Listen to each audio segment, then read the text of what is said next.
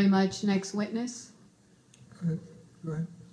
Yeah, it's Eric Preven a, county resident from the third district, and I am really disappointed because I, uh, you know, sat here during the Citizens Commission on Jail Violence hearings, and I heard one good deputy after another coming forward and talking about what they had seen, what they had witnessed, and how upsetting it was.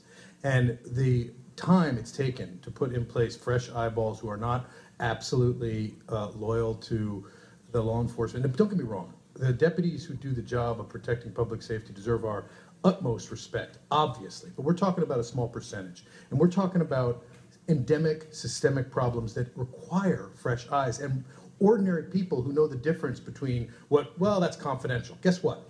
We've heard about law enforcement confidential meetings and various things for a long time, right?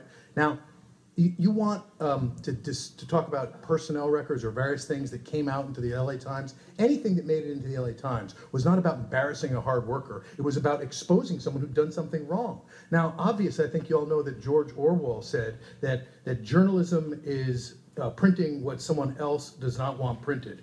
Everything else is public relations. And I got news for you. We have a very good public relations department at the sheriff's department. We do not need to bulk up with 24 Max Huntsman helpers to do that kind of work. We don't. We need people who are going to step up and say, hey, I'm a resident. I love this county. I love these people. That's not right behavior.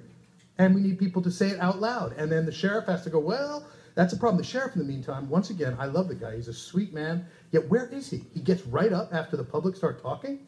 How is that what we want? That's not what I remember during the campaign trail. And I remember, I thought maybe I got it wrong, and I'll double check that he was for civilian oversight, meaningful civilian oversight. Well, if you don't think that subpoenaing administrative and various kinds of records is appropriate, then we ought to scrap the whole OIG and go back to OIR. Get Gennaco back.